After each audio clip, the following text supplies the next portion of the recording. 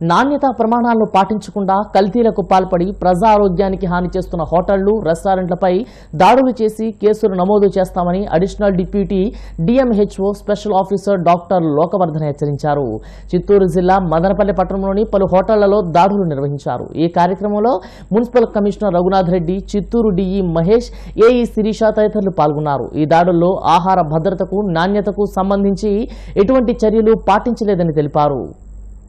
ఒక నాలుగైదు రెస్టారెంట్స్ని చిన్న హోటల్స్ని తనిఖీ చేయడం జరిగింది. తనిఖీ ఒక ముఖ్య ఉద్దేశం ఏంటంటే ఫుడ్ హైజినిటీ అంటే పారి పారిశుభ్రత మరియు పరిశుభ్రత. ఈ రెండిట్లో చాలా వరకు మనం అన్ని తనిఖీ చేయడము క్షుణ్ణంగా పరిశీలించడం జరిగింది. ఫుడ్ శాంపుల్స్ కానీ మరియు ఆయిల్ శాంపుల్స్ అన్నీ తీసుకోవడం జరిగింది. నోటీసులు ఇప్పుడు తొందరగా మనం వాళ్ళ వాళ్ళ ల్యా వాళ్ళ ల్యాబ్సెస్ అన్నీ ఐడెంటిఫై చేసిన తర్వాత నోటీసులు ఇవ్వడం జరుగుతుంది.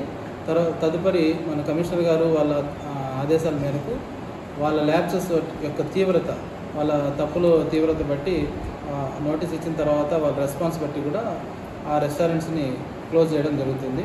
ముఖ్యంగా ప్రజలకి అందరికీ విజ్ఞప్తి ఏమిటంటే ఈ అన్హైజీనిక్ ఫుడ్ తినడం వలన మనకు ఈ మధ్య ఎక్కువ పేగుకు సంబంధించిన క్యాన్సర్లు కానీ ఇమ్యూనిటీ కానీ తగ్గిపోవడం జరుగుతోంది.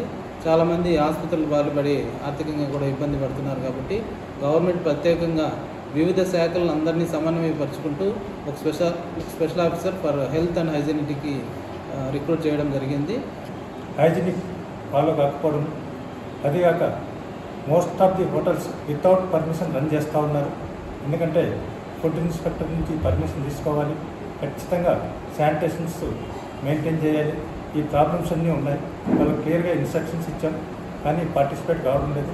అందువల్ల మన డిస్ట్రిక్ట్ కలెక్టర్ గారు ఒక టీంని ఏర్పాటు చేయడం జరిగింది. మన డిప్యూటీ డిఎంహెచ్ఓ గారు లోకవర్ధన్ గారిని స్పెషల్ ఆఫీసర్గా అపాయింట్మెంట్ చేశారు. ఈరోజు మన మున్సిపల్ స్టాఫ్ మన మెడికల్ స్టాఫ్ ఇద్దరు కలిసి కొన్ని హోటల్స్ ఇన్స్పెక్షన్ చేయడం జరిగింది. ఎక్కడెక్కడ మనకు డిఫెక్ట్స్ ఉన్నాయో వాళ్ళందరికీ నోటీస్ ఇవ్వడం జరుగుతుంది.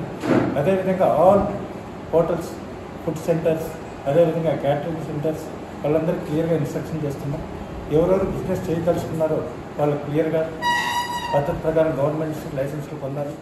అదేవిధంగా ఐటీ